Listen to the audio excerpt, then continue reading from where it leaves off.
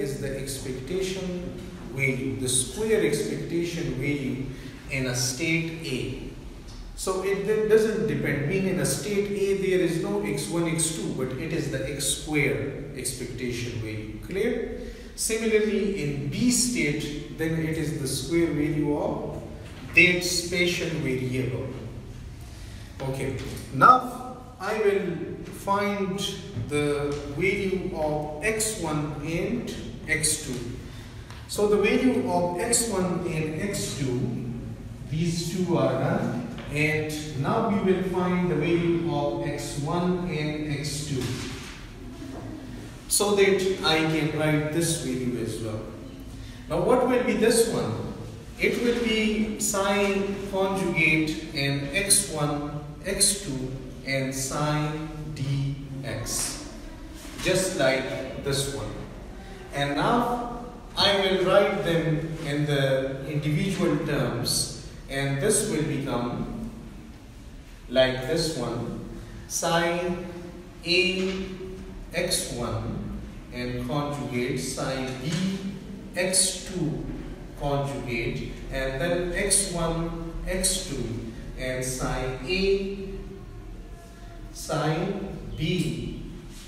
And it will be dx1 dx2 clear now this is equal to I'm having x1 here and x2 here. So what I will have to do with this one?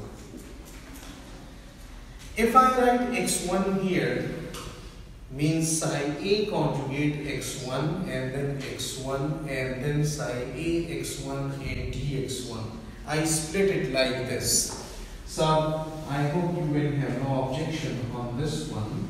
That A x1 then x1 and psi A x1 dx1 then integral psi B x2 and x2 and psi B x2 dx2 clear?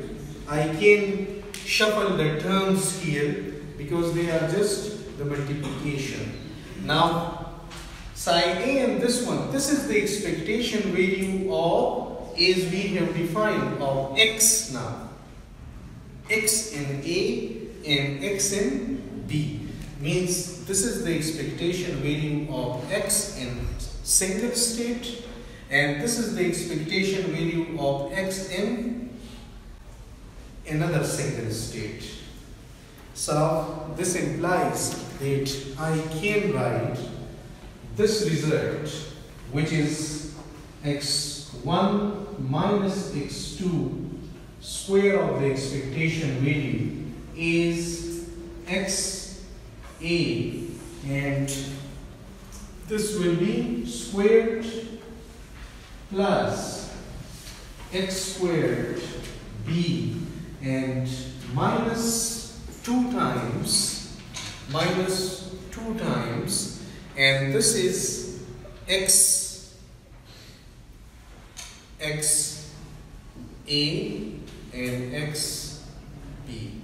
Clear so i have found this value that what i did means what's the difference between the two what's the difference between this relation and this relation Yes.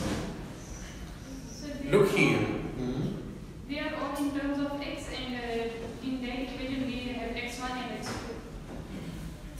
Okay. We are having here the separation of the two spatial variables. Clear? Like x1 and x2. We are having that here as well. But we converted them into individual states.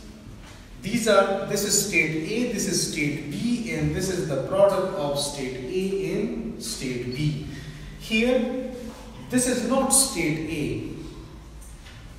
This is actually the expectation value of the square of the one spatial variable, and this is of the another variable, and this is the product of the two.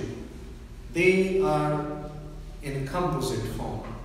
Here we splitted them into respective states and this is possible only when you are having distinguishable particles. When the particles can be recognized, when you can say that this particle is in this state and this particle is in this state. When the particle will not be recognizable, you will only be able to say that one particle is in one state and the other particle is in the other state. You cannot uh, exactly say about the identity of the particles as they are identical. Consider case 2.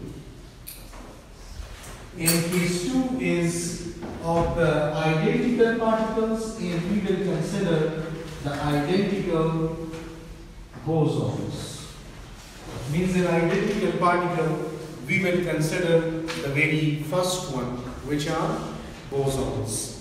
So what will be this situation? You know how we were writing the composite wave function for the bosons it was written not like this one, but it was written is psi plus and x1, x2 is equal to 1 over square root 2. And then we were having psi A x1, psi B x2 plus psi B x1 and psi A x2 and this is the composite wave function. For identical fermions, the only difference is that here is minus sign. And this way, now we will proceed with finding out this expectation value. That whether it comes out to be exactly like this or some difference is coming here. So the very first one, find out the expectation value of x1 square. So what it will be? Now I will not write them like this and then like this, but we'll discuss with you that how it will be. The very first, it will be this conjugate x1 square and then this will function and dx. Then we will split. This whole will be multiplied, means this whole will be taken as conjugate, then x1 and then this whole will be as it is in dx1, dx2. Clear? Now when I multiply this whole with another, then, then 1 over 2 square root and 1 over 2 square root will become 1 over 2. So I will have 1 over 2 and then I will write the integration of means I will write two integrals. Two integral, one for dx1 and the other for dx2 and this will be psi x1 square psi plus x1 x2 and the conjugate and the non-conjugate will multiply and it will become psi plus mod square and here I will have dx1 and dx2. and now I will put their respective values. And what will be the respective values? This will be equal to half and then it will be integral. We will have from here the psi A conjugate and x1 psi B conjugate. Okay, just write it in this term because if we don't write then our multiplication will become difficult. So we will have to write it in this form. And psi b conjugate x2 plus psi b conjugate x1 and psi a conjugate x2 psi a conjugate x2 for this clear? Is it visible? Okay. Psi a x1 because I am finding out x1 square now when it comes here x1 and x2 psi b so it will be one will be the direct multiplication means with this one the conjugate in this. Let me completely write so you will understand the whole term. And this one I write is this will be a double integral x1 and all this. Let me write it in this form that x1 squared hmm, x1 squared I will have to first write x1 square and then this is a home. So okay let me let me write this thing here. So it will be visible. Uh, we can save some space in order to complete it. This is half and I will write double integral x1 squared and then make this one in a bracket here. So I will enclose this one here. And plus this one will be multiplied means x1 square the value that I am finding I wrote it here. And then I am writing first I wrote the conjugated form and now I will write the non-conjugated form x1 and psi b x2 psi plus psi b x1 and psi a x2 and this will be dx1 dx2 so I have done nothing special, but just wrote x1 square and then wrote this one in the conjugated and non-conjugated form. This one is the conjugated of this and this one is the non-conjugated form. And now I will split them. So in the splitting, what will happen here?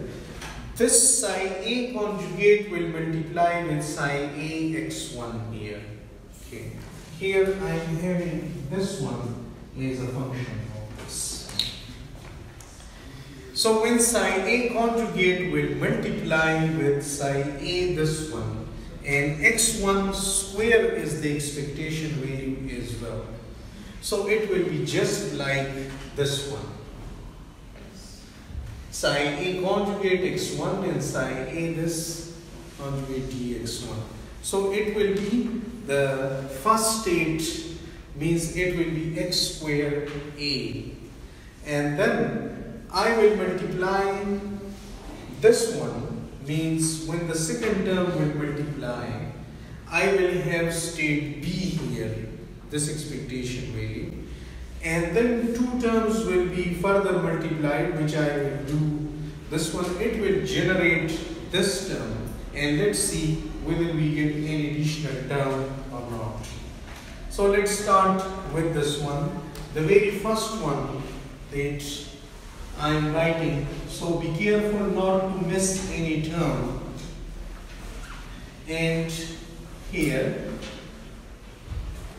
Okay, the very first I will write double integral and then x1 squared, x1 squared and psi a x1, psi a x1 and I write it is mod square. Why I am writing is mod square? Because when psi a conjugate will multiply with psi a, this one it will become mod square. This one also means the same. This is the x1 square expectation value. Whether you write between the two wave functions or you write it on a side, it is the same thing for x. Because x is also an operator but not a differential operator. You cannot do this thing with a momentum. If you take momentum out, then you will have to apply momentum on both the wave functions, which then you will, you will use the product rule. But for x, it doesn't matter because x is not a derivative operator. Clear? That's why I can take this thing out and then you see that psi b will multiply okay the second term x1 square here and when psi b x1 is multiplied with psi b x1 right? Then we will have another term here and that term is equal to psi b mod square. So x this will be x1 square psi a1 and psi b is a function of x2 and mod square and this is with dx1 and dx2 let me write first the whole terms and then we will check that we have multiplied the correct number of terms here. Plus, plus another double integral and we are having the same situation but the replica of this one but for psi b first. And it will be x1 square then psi b of x1 mod square and psi a of x2 mod square. And dx1 dx1 and dx2 clear the two terms and then we will have a double integral plus and double integral x1 square and psi a psi b. x1 square psi a and psi a x1 psi